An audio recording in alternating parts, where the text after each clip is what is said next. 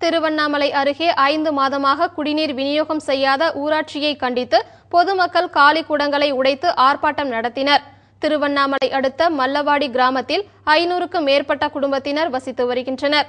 இந்த கிராமத்திற்கு கடந்த ஐந்து மாதங்களுக்கு மேலாக குடிநீர் விநியோகம் செய்யப்படவில்லை என்று கூறப்படுகிறது.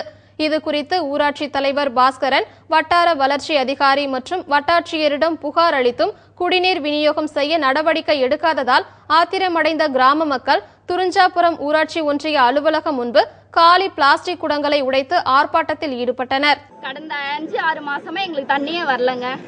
குழந்தைங்களுக்கு கூட ஒரு சொட்டு தண்ணி கூட இல்லைங்க. வட்டாட்சியர் அலுவலகம் யூனியன் ஆபீஸ் நிறைய முறை வந்து புகார் பண்ணிட்டு யாருமே ஸ்டெப் எடுக்கலங்க. தண்ணி வந்து நாங்க ரெண்டு மூணு மைல் தூரமா போய் எடுத்துட்டு வரோம். தண்ணி ஒரு அஞ்சாறு மாசமா தண்ணி வரல விட்டு விட்டு தண்ணி வந்துருக்குது. நாங்கள் ஏற்கனவே தலைவர்கிட்ட மூணு நாலு முறை பிரச்சனை பண்ணியாச்சு.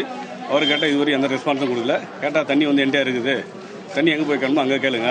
நான் என் வீட்டில் கிணத்து வச்சு நான் தண்ணி வரலாம் அப்படின்ற மாதிரி சொல்கிறாரு சரி தண்ணி பஞ்சம் ஊரில் எங்கன்னா சின்டெக்ஸ் பண்ணி எதனா ரெடி பண்ணுங்க? போராவது போட்டு ரெடி பண்ணுங்க கேட்டதுக்கு.